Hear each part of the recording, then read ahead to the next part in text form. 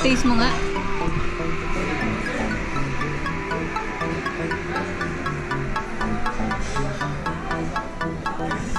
Oops, sorry.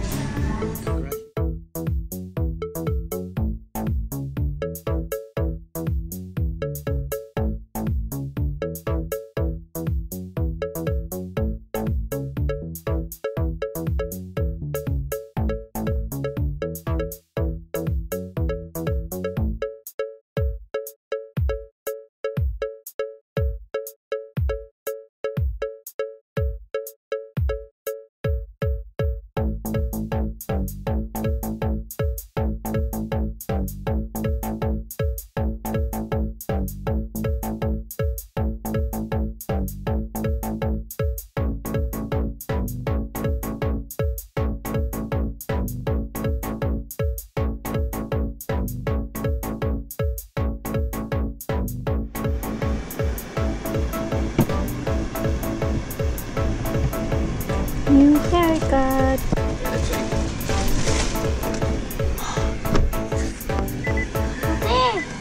Kate? We're here at Morning Evening Restaurant in Pahangil. Ipipick up lang namin yung palabok na in-order ni Alan. No, hindi namin siya kakainin ngayon dahil up to now, busog pa kami.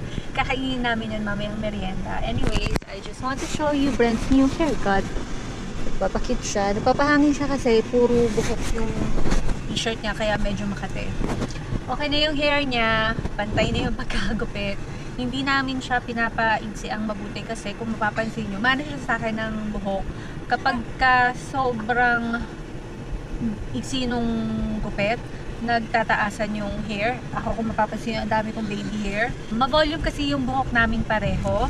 Kaya, ayun, I'm so happy na okay na yung ayos ng hair niya.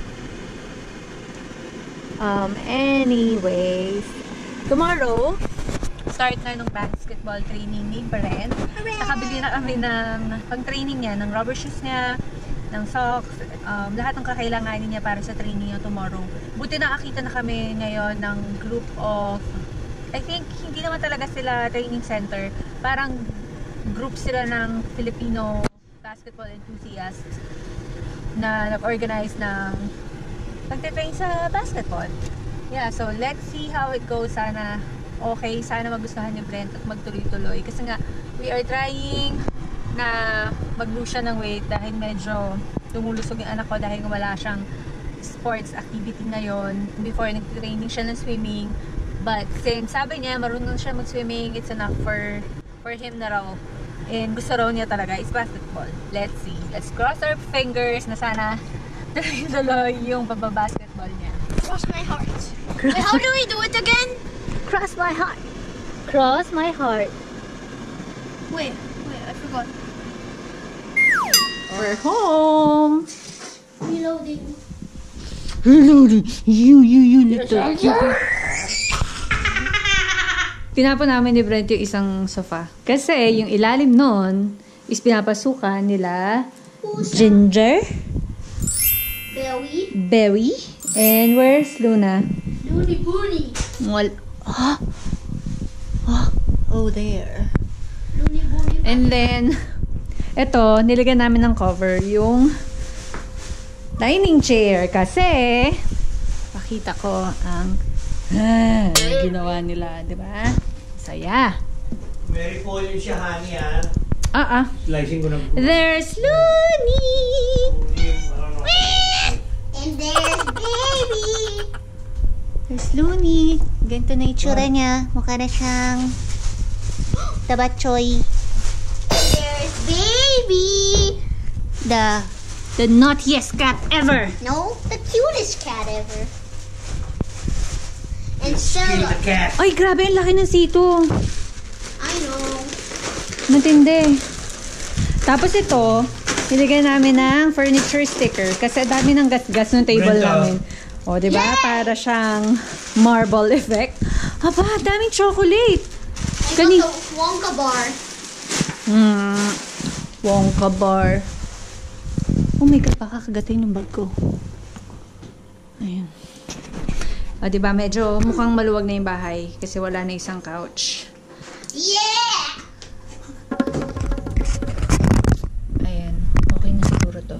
Hmm. Anyways, nandito ako ngayon sa kwarto namin ni Alan. As some of you may know, if you have been following me for a while, alam nyo mayroon akong alone time during the afternoon. And ito, I am taking this time para i-prepare kung ano man yung mga dadalhin ko tomorrow for Brent um, basketball practice, basketball training.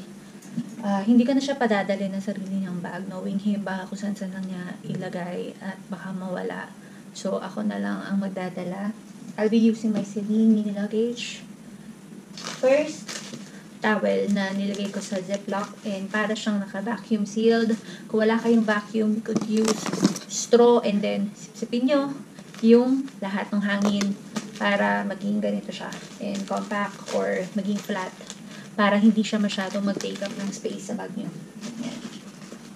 Then, I have this is this toiletry. Um, kalimutan ko anong tawag dito eh. Sa uh, IKEA ko yata ito binili. Uh, yeah. This is, this is the first aid kit. Meron siyang hook dito na pwede niyong isabit sa doorknob or sa shower rod. In here, una yung nalaglag na first aid kit. Yung t-shirt ni Brent, yung sando, yung panloob. Tapos meron siyang shorts dito. Ito yung pampalit niya from the practice. Pagpunta namin doon, naka-jersey na siya. Medyo maaga kasi 8 a.m. Aalis kami dito. Yung call time is 9 a.m. Mabuti na na maaga kami umalis dito para hindi kami nagmamadali. So, back to this bag.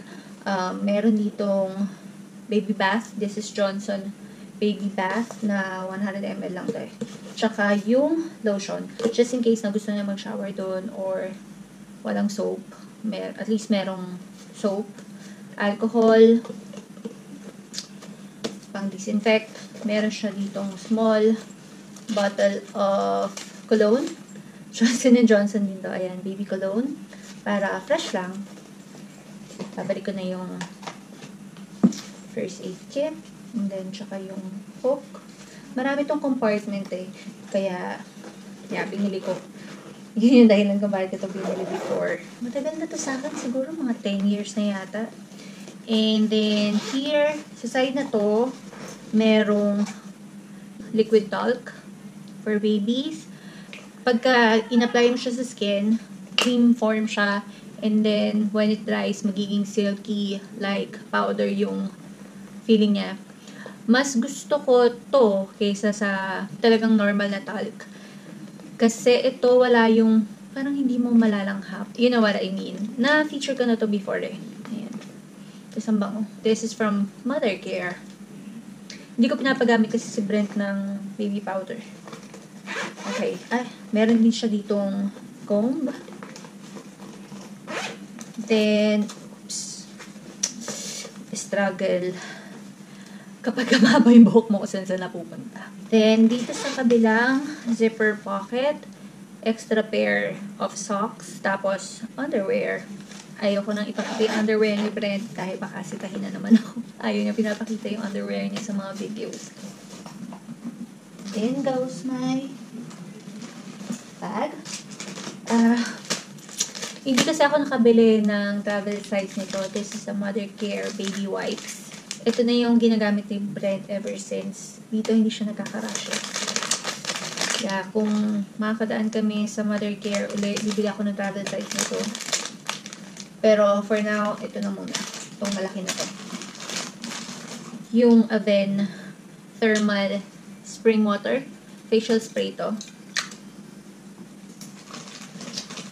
Pocket of tissue. My card case. Clay yung cosmetic pouch ko. Yung mga gamit ko lang. My protein bar. This is the Pharma First protein bar in dark chocolate. Dalawa yung flavor nito. Isang vanilla. This is the dark chocolate. Mas gusto ko to. Kasi hindi siya masyado matamis. Yung vanilla parang sobrang tamis. Tapos, this is the almond croquant. Tama ba yung pag-pronounce ko nito? Basta ito. Siguro baka daling ko na rin yung pretzel ko. Hindi ko alam bakit lagi akong gutom. Or, naboboard lang yung bibig ko. Just in case na mag-crave ako, meron ako nito. And then, what else? Sunglasses na isasabi ko lang dito. This is my Prada sunglasses. Hindi ko alam kung anong model nito. Matagal na kasi ito. eh. Siguro mga 3 years na to. And napaka tibay. Yan. Yung vlogging cam ko, sisiguraduhin kong dadalhin ko tong GoPro na to. Yan. There you go.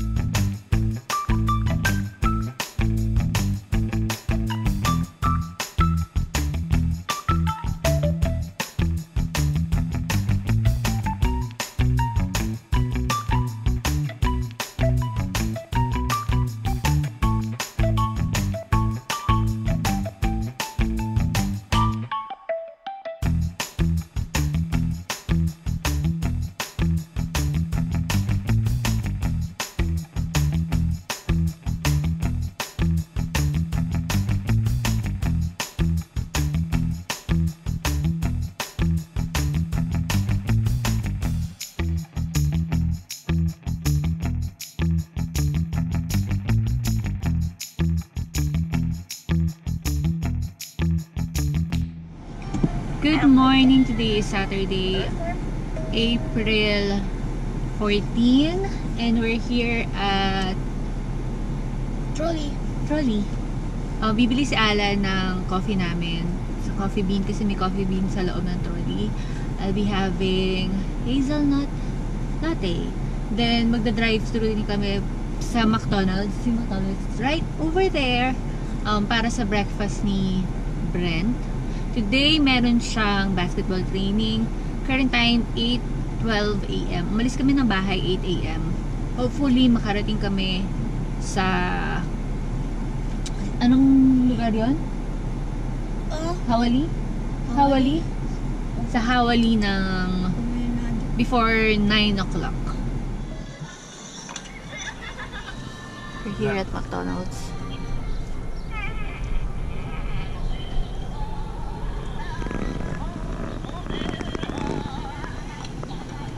Wala. Wala eh.